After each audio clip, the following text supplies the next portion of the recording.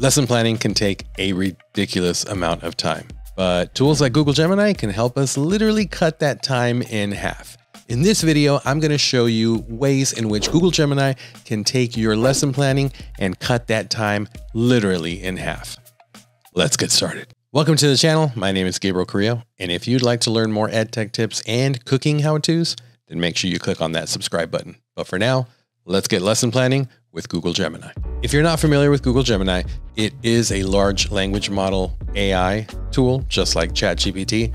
It is a lot different than ChatGPT in certain ways because ChatGPT can only access information up until early 2022, at least if you're using the free version of it.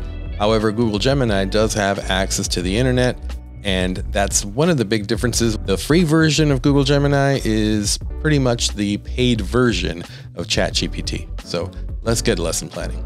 I've got a Google Doc here, and if you do have Google Gemini available in your domain or on your personal account, then by all means use it and it'll show up as a help me write box or on the top right hand corner of any Google product, in this case a Google Doc, you can click on that Ask Gemini.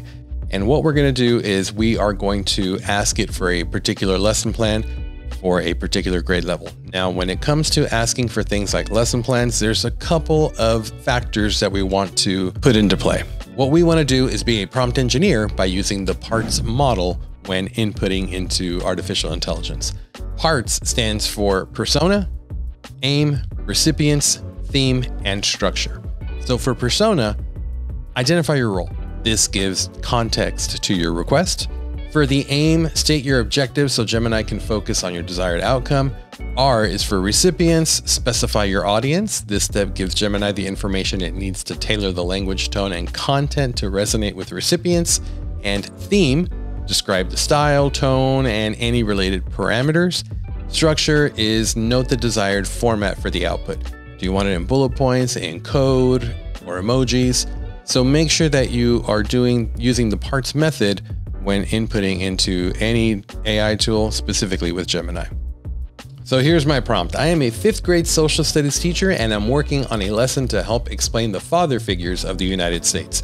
Please come up with a sample lesson plan utilizing a Google Slides project for my fifth graders using the 5E lesson framework.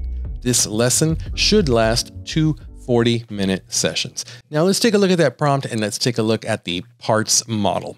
If we take a look at those two, P, my persona, I've told it in this prompt that I am a fifth grade social studies teacher.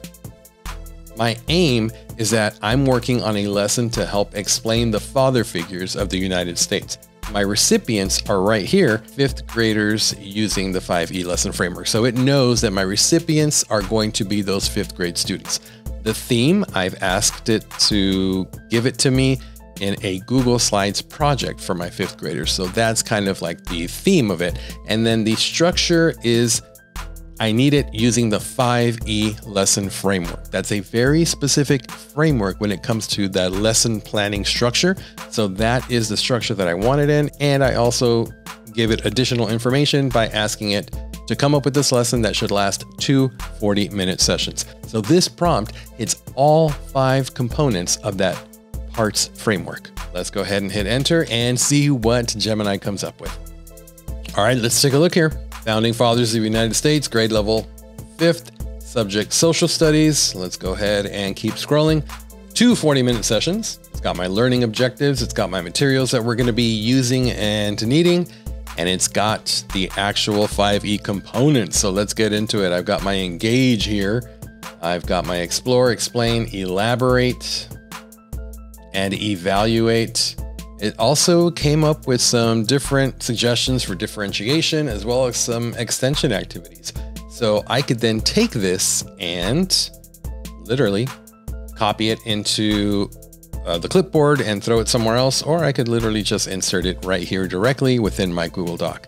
So now I have my lesson plan structure using that 5E model right here quickly using Google Gemini. Now, I'm not going to use this as is. I'm going to modify this so it meets my specific needs and my particular standards that I need to hit and the points that I need to touch upon. So that is the one thing when utilizing AI in this case Google Gemini, to do to help you with the lesson planning process, AI can do 80% of that front work for you.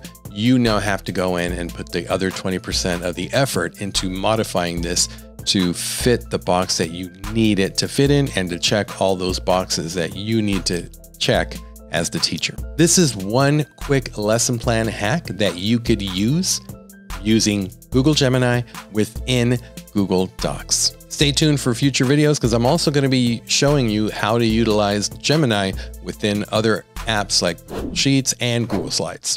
If you enjoyed this video, like, comment, share, and make sure that you are subscribed. Hope you're off to a great school year, ladies and gentlemen, and buen provecho.